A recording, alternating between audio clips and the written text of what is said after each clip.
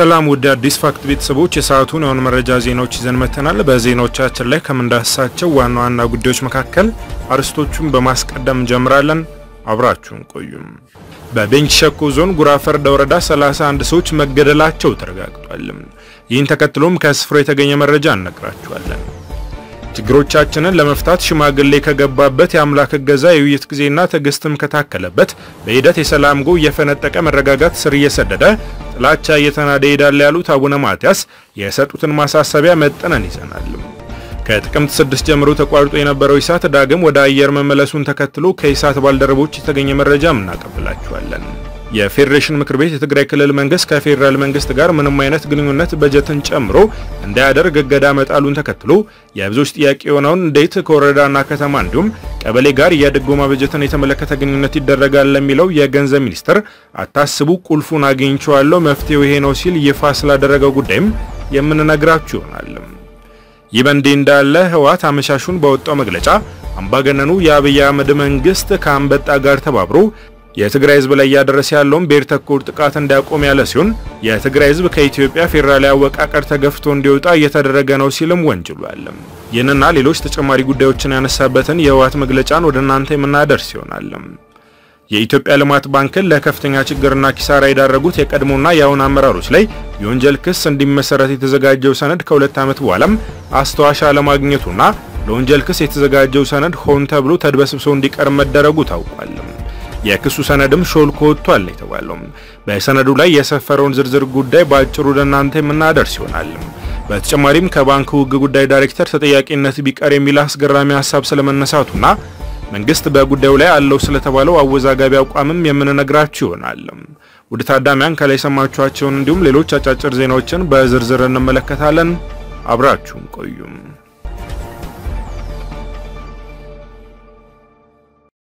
ተደጋጋሚ ስህተት እንዳይፈጸም ሁሉንም ወደ ሰላምና እርቅ መምጣት እንዳለበት የኢትዮጵያ ኦርቶዶክስ ተዋሕዶ ቤተክርስቲያን አሳሰበችም። የኢትዮጵያ ኦርቶዶክስ ተዋሕዶ ቤተክርስቲያን ሊቀ ጳጳስ ዓመታዊ የቅዱስ ሲኖዶስ ስብሰባውን በጀመረበት በዛሬው ዕለት የቤተክርስቲያኗ ፓትርያርክ ብፁዕ ቅዱስ አቡነ ማትያስ ቀዳማዊ እንደተናገሩት በአሁኑ ወቅት እየተካሄዱ ያሉት ወደ ግጭት የሚያመሩ ትንኮሳዎች የኋላ ኋላ ምን ያክል ጸጸት እንደሚያስከትል አንስተው ከቀደመው ስህተት ትምህርት ወስዶ ዳግም ጸጸት ላይ ላለመውደቅ አስፈላጊውን ጊዜና አቅም ወስዶ ወደ ሰላም እርቅ መምጣት እንደሚገባ ተናግረዋል።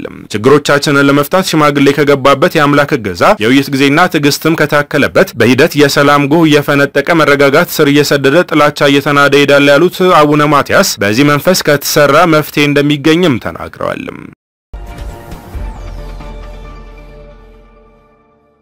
ኢሳት ወደ አየር መመለሱ ተገለጸ። ከገንዘብ እጥረትና ተያያዥ ጉዳዮች ጋር በተያያዘ ከጥቅምት 6 ቀን 2013 ዓ.ም ጀምሮ ላለፉት ጥቂት ቀናት የአየር ላይ ስርጭቱ ተቋርጦ የነበረው የኢትዮጵያ ሳተላይት ቴሌቪዥን ኢሳት ዛሬ ከሰዓት ወደ አየር ተመልሷል። ወደ አየር መመለስ የቻለው በመላው ዓለም የሚገኙ ኢትዮጵያውያን ባደረጉት ከፍተኛ ርብርብ መሆኑን ኢሳት በፌስቡክ ገጹ አስታውቋል። ስርጭቱ ቀድሞ በነበረው ሳተላይትና frequency ላይ መቀጠሉን በመግለጽ ጣቢያው ለደገፉ አካላት ምስጋና አቅርቧል። የኢሳት የቦርድ አባላት የአየር ላይ ስርጭቱ ነገ እንደሚጀምር የወሰኑ ቢሆንም ቅድመ ዝግጅቶች በመጠናቀቃቸው ዛሬ ወደ አየር መመለሱን የኢሳት ባልደረቦች ለአላይን ገልጸዋል።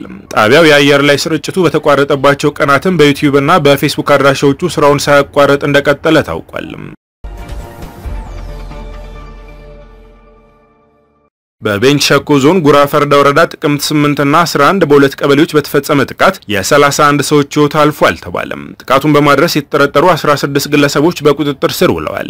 በቁጥጥር ስር ከዋሉት ግለሰቦች መካከል አንድ የፖሊስ አባልና አራት አመራሮች እንደሚገኙበት የዞኑ ዋና አስተዳዳሪ አቶ ፍቅሬ አማን በሰጡት መግለጫ አስታውቀዋል። ዋና አስተዳዳሪው በወረዳው ጥቅምት 8 እና ጥቅምት 11 ቀን 2013 ዓ.ም ሁለት ቀበሌዎች በተፈጸመ ጥቃት የ31 ሰዎች ሕይወት ማለፉንና አምስት ሰዎች ላይ ጉዳት መድረሱን ተናግረዋል። 180 አባወራዎች ደግሞ ተፈናቅለው በቢፍቱ ከተማ የተጠለሉ ሲሆን ጊዜ እርዳታ እንዲያገኙ እየተደረገ መሆኑንም ገልጸዋል። ዘገባው የፋና ብሮድካስቲንግ ኮርፖሬት ነው። የትግራይ ብሔራዊ ክልላዊ መንግስት ከደቂቃዎች በፊት መግለጫ አውጥቷል። የትግራይ ህዝብና መንግስት ባህዳዊና አምባገነናዊ ቡድን ተከታታይ ጸረ ህዝብ እርምጃ አይንበረከክም የሚለው መግለጫውም በህገ ወጥ መንገድ በኢትዮጵያ ብሔር ብሔረሰቦችና ህዝቦች ጫንቃ በማናለብኝነት ንጹሐንን በጅምላ የጨፈጨፈ ዜጎች ለሞት እንግልት፣ ስደትና ሰቆቃ እየዳረገ ያለው አህዳዊና አምባገነን ቡድን የትግራይ ህዝብን ለማንበርከክ የተለያዩ ተከታታይ እርምጃዎች በመውሰድ ላይ ይገኛል ብሏል። ይህ አህዳዊና አምባገነናዊ ቡድን ቀደም ሲል የትግራይ ህዝብ ድርሻ የሆነውን የድጎማ በጀት መከልከሉን ባስታወቀበት ማግስት ከበረሃ አንበጣ መንጋ ጋር እየተናነቀ ያለውን የትግራይ ህዝብ ዓመት ሙሉ የለፋበት ቡቃያ የአንበጣ ሲሳይ እንዲሆን በይኖበታል ብሏል። ይኸው ጸረ ህዝብ ቡድን ጸረ አንበጣ መድኃኒት በአውሮፕላን እንደረጨ የሐሰት መረጃ በማስተላለፍና ቀደም ሲል ከዓለም አቀፍ ማህበረሰብና ለጋሽ ሀገሮች ለገበሬ ሲሰጥ የቆየውን የሴፍቲኔት ፕሮግራም ማለትም ከጥቅምት ወር ጀምሮ ለቀጣይ ሶስት ወራት መላክ የነበረበትን 285 ሚሊዮን ብር እንደከለከለ ጥቅምት 10 ቀን 2013 ዓ.ም ያለምንም ይሉኝታ በይፋ አሳውቋል ይላል። መግለጫው ሲቀጥልም ከዚህ በተጨማሪም የመቀሌ ከተማ የመጠጧ ችግር ለመፍታት ገረብ ግባ ግድብ ፕሮጀክት ኮንትራት ወስዶ እየሰራ ያለውን የቻይና ኩባንያ የመጠጧ ፕሮጀክት ሁለት ዲዛይነሮች ከቻይና ተነስተው በትራንዚት ወደ መቀሌ ከተማ እንዳይመጡ እንደተለመደው ጥቅምት 12 2013 ዓ.ም ቦሌ ዓለም አቀፍ አውሮፕላን ጣቢያ አግተው አስቀርተዋቸዋል ብሏል። ይህም በአጠቃላይ የመቀሌ ከተማ ነዋሪ የመጠጥ ውሃ ተጠቃሚ እንዳይሆን ጉሮሮ በውሃ ጥም እንዲደርቅ የተፈረደ የመጨረሻ የጭካኔ መገለጫ ነው ብሎታል። ይህ ሁሉም ተከታታይና ተደራራቢ ጸረ ህዝብ እርምጃ የትግራይ ህዝብ ከኢትዮጵያ የፌዴራል አወቃቀር ተገፍቶ እንዲወጣ የሚገፋፋ ተግባር አበክሮ እየሰራ ነው ብሏል። በመጨረሻም በትግራይ ህዝብ ላይ ይህንን ሁሉ ተከታታይ ግፍ መፈጸም አህዳዊውንና አምባገነኑን ቡድን እድሜ ያሳጥር እንደሆነ እንጂ በሚወስደው ተከታታይ ጸረ ህዝብ እርምጃ የትግራይ ህዝብና መንግስት ይንበረከካል ማለት ዘበት ነው ብሏል። ስለዚህ ዓለም አቀፍ ማህበረሰብ የህገ ወጥ አህዳዊ ቡድን ከአንበጣ ጋር አብሮ በትግራይ ህዝብ ላይ እያደረሰ ያለውን ብሔር ተኮር ጥቃት ተገንዝቦ አስፈላጊውን እርምጃ እንዲወስድ የትግራይ ብሔራዊ ክልላዊ መንግስት በዚህ አጋጣሚ ጥሪውን ያስተላልፋል ሲል የትግራይ ኮሚኒኬሽን ጉዳዮች ቢሮ ባወጣው መግለጫ አሳውቋል። የልዩ ዘመቻዎች ኃይል ስልጠና በቀጣይ በሀገር ላይ ሊመጡ የሚችሉ ችግሮችን አስቀድሞ ለመመከት የሚያስችል መሆኑን የኢፌዴሪ መከላከያ ሰራዊት የልዩ ዘመቻዎች ኃይል ዋና አዛዥ ሜጀር ጄኔራል ሹማ አብደታ ተናገሩ። የኢፌዴሪ መከላከያ ሰራዊት የልዩ ዘመቻዎች ኃይል ማዘዣ በአምስት ሻለቃ ያሰለጠናቸውን የኮማንዶ አባላት የፊታችን ቅዳሜ እንደሚያስመረቅ ታውቋል። ስልጠናውን የወሰዱት የኮማንዶ አባላት ልዩ ልዩ ግዳጆች የሚወጡ መሆናቸውም ተገልጿል። የልዩ ዘመቻው ኃይሎች ስልጠና እንደ ሀገር በቀጣይ ሊመጡ የሚችሉ ችግሮችን እንዴት መከላከልና መወጣት እንደሚቻል በተግባር የታየበት ተፈጥሯዊም ሆነ ሰው ሰራሽ አደጋን በመቋቋም ግዳጅን መወጣት የሚቻልበት መሆኑንም ሜጀር ጀነራል ሹማ ተናግረዋል። የዓለም ስጋት እየሆነ የመጣውን የሽብር ጥቃት አስቀድሞ ለመከላከል ብሎም በከተሞችና ምቹ ባልሆኑ አካባቢዎች ተልእኮውን ለመወጣት እንደሚያስችልም ተጠቁሟል። የኢፌዴሪ የመከላከያ ሰራዊት የሀገር ዋልታ የህዝብ አለኝታ መሆኑን ሰላምና የሀገር ደህንነትን ለማስጠበቅ የሚሰራ ኃይል መሆኑንም ተናግረዋል። በልዩ ዘመቻዎች ኃይል ማዘዣ የተሰጠው ስልጠና አንድ ሻለቃ ኮማንዶ የሪፐብሊክ ጋርድ ሁለት ሻለቃ ልዩ ኃይል፣ አንድ ሻለቃ የጸረ ሽብር ልዩ ኃይል እንዲሁም አንድ ሻለቃ የፌዴራል ፖሊስ ኮማንዶ የያዘ ነው ተብሏል። በነገው ዕለትም በልዩ ዘመቻው ኃይል የሰለጠኑ የአየር ወለድ ኮማንዶ አባላት የተለያዩ ትርኢቶች እንደሚያሳዩም ኢዜአ ዘግቧል። የገንዘብ ሚኒስቴር ለትግራይ ወረዳ ከተማና ቀበሌ የሚሰጠውን የድጎማ በጀት የሚያስተላልፍበትን አሰራር አዘጋጅቶ ማጠናቀቁን ገለጸ። የፌዴሬሽን ምክር ቤት ነሐሴ 30 ቀን 2012 ዓ.ም ባካሄደው አስቸኳይ ስብሰባና በወሰነው ውሳኔ መሰረት እንዲሁም መስከረም 26 ቀን 2013 ዓ.ም ባካሄደው መደበኛ ስብሰባ የትግራይ ብሔራዊ ክልላዊ መንግስት የህገ መንግስታዊ ምርጫን በማድረግ አዲስ የክልል ምክር ቤትና ከፍተኛ የህግ አስፈጻሚ አካላት በመመስረቱ ከፌዴራል መንግስት ጋር ያለው ግንኙነት ከክልሉ ወረዳ ከተማና ቀበሌ መዋቅሮች ጋር እንዲሆን በፌዴራል መንግስት መወሰኑ ለአሰራር መዘጋጀት ምክንያት ሆኗል ተብሏል። በዚህም መሰረት የገንዘብ ሚኒስቴር ለትግራይ ወረዳ ከተማና ቀበሌ የሚሰጠውን የድጎማ በጀት የሚያስተላልፍበትን ዝርዝር ስራ የገንዘብ ሚኒስቴር አዘጋጅቷል። ሚኒስትሩ ያዘጋጀው ዝርዝር የበጀት ማስተላለፊያ አሰራርም ለሚኒስትሮች ምክር ቤት ቀርቦ ከጸደቀ በኋላ ተግባራዊነቱ እንደሚፈጸምም ታውቋል። ራሱን የትግራይ ብሔራዊ ክልላዊ መንግስት ነኝ ብሎ ለሚጠራው አካል የሚተላለፍ በጀት እንደማይኖርም ሚኒስትሩ አስታውቋል። ሚኒስትሩ ከወረዳ ከተማና ቀበሌ በጀት ድጎማ አፈጻጸም ጋር ለሚነሱ ጥያቄዎች የድጎማ በጀት የሚተላለፍበት አሰራር ዝርዝር በምክር ቤቱ ከጸደቀ በኋላ እንደሚገለጽ የገንዘብ ሚኒስቴር የኮሚኒኬሽንና ኢንፎርሜሽን ዳይሬክቶሬት ዳይሬክተር አቶ ሀጂ ይብሳ ተናግረዋል ሲል FBC ዘግቧል። የኢትዮጵያ ልማት ባንክን ለከፍተኛ ችግርና ኪሳራ የዳረጉት የቀድሞና የአሁን አመራሮች ላይ የወንጀል ክስ እንዲመሰረት የተዘጋጀው ሰነድ ከሁለት ዓመት በኋላ ማስታወሻ አላገኘም ተባለም። ለወንጀል ክስ የተዘጋጀው ሰነድ ሆን ተብሎ ተድበስብሶ እንዲቀር መደረጉንም ዋዜማ ራዲዮ ከምንጮች ያረጋግጫለሁ ስትል ዘግባለች። በቀድሞና የአሁኑ የባንኩ አመራሮች ላይ የወንጀል ክስ እንዲመሰረት ሰነድ የተዘጋጀው 2010 ዓ ም የአጣሪ ቡድን ተቋቁሞ ከባንኩ የብድር አሰጣጥ ጋር በተያያዘ የተሰሩ የህግ ጥሰቶች ላይ ማጣራት ከተደረገ በኋላ ነው። የልማት ባንኩ እስከ 20 ቢሊዮን ብር ድረስ የተበላሸ ብድር ተከማችቶበት እንደነበር የሚታወስ ነው። የዚህ ከፍተኛ የተበላሸ ብድር መከማቸት ዋና ምክንያትም ለተለያዩ ኩባንያዎች ብድር የሰጠበት መንገድ ከፍተኛ የተጠያቂነት ችግር የነበረበት እንደሆነ ዋዜማ ራዲዮ ለወንጀል ክስና ለዲሲፕሊን ቅጣት ከተዘጋጀ ሰነድ መመልከት ችያለሁ ብላለች። የተዘጋጀው ሰነድ 80 ተበዳሪዎችንና ብድሩ ሲሰጥ የታዩ የህግ ጥሰቶችን፣ በዚህ ሂደት ውስጥ ተሳትፈው የነበሩ አመራሮችንና ሙያተኞችን ስም ዝርዝር፣ የእያንዳንዳቸው አመራሮችና ሙያተኞች በእያንዳንዱ የህግ ጥሰት በተስተዋለው ብድር ውስጥ የነበራቸው ሚናም በዝርዝር ተቀምጧል። ዋዜማ ራዲዮ ከፍተኛ የብድር አሰጣጥ ብልሽት ችግር ከታየባቸው የተበዳሪ መረጃዎች ውስጥ የተወሰኑትን ተመልክታለች። የኤልሲ አዲስ Industrial Development ኃላፊነቱ የተወሰነ የግል ማህበር የተሰጠው ብድር ላይ የታየው ከፍተኛ ችግርና በዚህ ሂደት ውስጥ የተሳተፉት እንደሚከተለው ቀርቧል። ይህ ኩባንያ በጥቅሉ ከሁለት ቢሊዮን ብር በላይ ብድር ወስዶ ሳይከፍል የፋብሪካው ባለቤቶች ከሀገር ወጥተዋል። ለዚህ ኩባንያ ባልተገባ መልኩ ከፍተኛ መጠን ያለው ብድር እንዲሰጥ ያደረጉ የልማት ባንኩ 34 የቀድሞና የአሁን አመራሮች እንዲሁም ሙያተኞች በወንጀል እንዲጠየቁ በሚል የፈጸሙት ዝርዝር የህግ ጥሰቶች ተቀምጠዋል።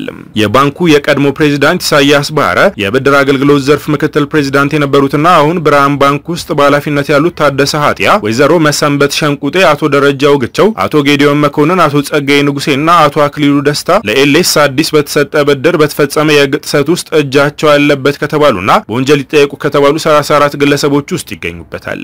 ስማቸው ለኤልሲ አዲስ በተሰጠ ብድር የህግ ጥሰት ውስጥ የተጠቀሱ ግለሰቦች ኩባንያው ከቱርክ ነቅሎ ያመጣቸው ማሽኖች ግምታቸውን ማሰራት ሲኖርባቸው ሳያሰሩ በደፈናው ማሽኖቹ የተበዳሪው መዋጮ እንዲሆን ፈቅደዋል። ለቱርክ ኤልሲ አዲስ የስራ ማስኬጃ በድምሩ 252 ሚሊዮን ብር ብድር ሲፈቀድ የልማት ባንኩ የብድር አጽዳቂ ኮሚቴ ማጽደቅ ሲገባው አቶ ታደሰ ሀጢያና አቶ ኢሳያስ ባህረ ብቻ ተመካክረው ብድሩን ፈቅደዋል ይላል ሰነዱ። ይህ ብቻ ሳይሆን ለኩባንያው ብድር እንዲራዘም ሲደረግበት የነበረው መንገድም ህግን የጣሰ መሆኑም ተገልጿል። እንዲሁም በሌላ ጊዜ ለተመሳሳይ ኩባንያ 95 ሚሊዮን ብር የስራ ማስኬጃ ብድርን ከመመሪያ ውጪ በውስጥ ማስታወሻ ሲሰጥም ከ34 ውስጥ የተጠቀሱት ግለሰቦች እንደተሳተፉም ሰነዱ ይገልጻል። ኤልሲ አዲስ የተሰኘው ኩባንያ ለሚሰራው ኢንቨስትመንት ከራሱ የሚያወጣውን ገንዘብ በስራ ላይ መዋሉ ሲረጋገጥ የልማት ባንኩ ብድር እንዲለቀቅለት ቢጠየቅም ኩባንያው የራሱን መዋጮ ላይ መዋሉ ሳይረጋገጥ የባንኩ ብድር እንዲለቀቅለት ተደርጓል ተብሏል። ለቱርክ ኤልሲ አዲስ በተሰጠ ብድር ላይ ከተገለጸው ውጪ በ34ቱም ግለሰቦች የተፈጸሙ በርካታ ጥሰቶችና የየግለሰቦቹ ተሳትፎ ተገልጾ በወንጀል እንዲጠየቁ የተዘጋጀ ሰነድ መክሯል።